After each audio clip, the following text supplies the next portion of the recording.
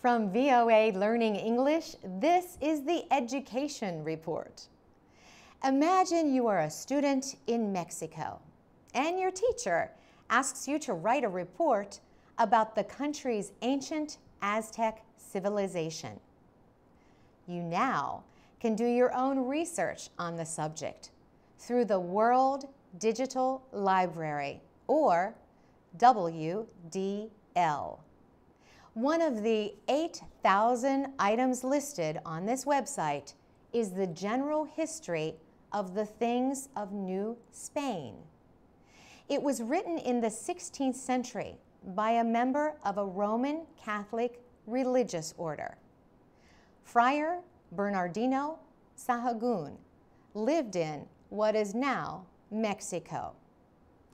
He liked many qualities of the Aztecs and wrote 13 books about them in Spanish and Nahuatl, the Aztec language. The books are stored in Florence, Italy, but you can read every page and see every picture with the World Digital Library. The library has at least one item from every member country of the United Nations Educational, Scientific, and Cultural Organization, or UNESCO. UNESCO and the U.S. Library of Congress launched the WDL in 2009. Since then, more than 25 million people have visited part of the collection. The library provides free access to thousands of objects of cultural and historical importance.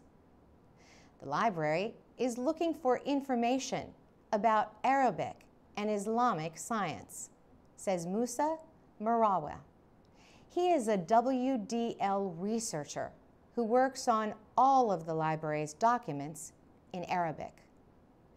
Arab countries and their libraries are strong supporters of the World Digital Library.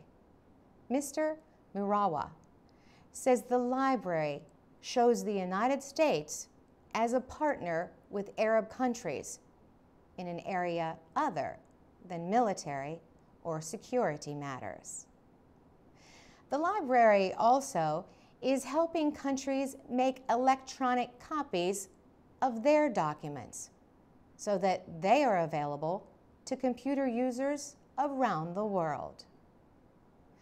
For VOA Learning English, I'm Carolyn Presutti.